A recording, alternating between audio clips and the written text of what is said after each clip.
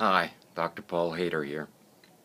You know, back in the 50s, there was a meeting talking about consciousness, talking about children who could talk to each other over great distances and be able to move objects across rooms and be able to bend spoons and all these different things. And then there was a meeting in the, in the government, and they go, Ooh, this is not good. The people have power. And of late, people like Foster Gamble have talked about another great power, the torsion field, magnetic torsion field that is around the Earth. And this field comes up and around the Earth and back up through it again. And that's a great power also. But we also have that great torsion field within us also. And that great torsion field is powered by the heart, powered by love. So we can allow ourselves to expand that love, allow that love to expand up and out into infinity and on out and around and back up through us. That love is endless and allows us to change everything on this planet. And we see people like Dr. Stephen Greer who talk about telekinesis and be able to do tele- telepathy with other beings across the universe.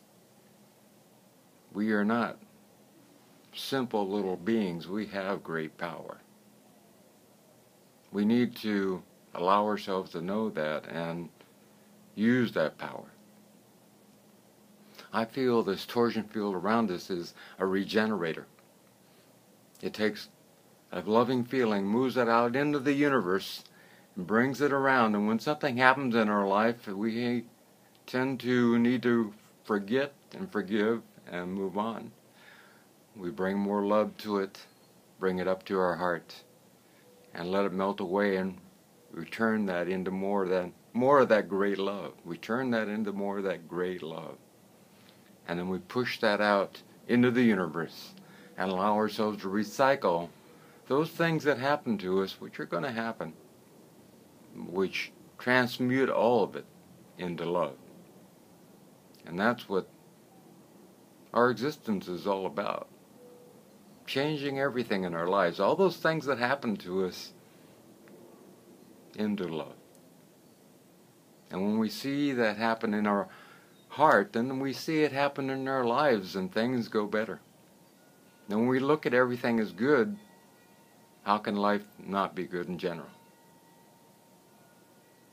This is what, what happens when we start expanding out into the universe love.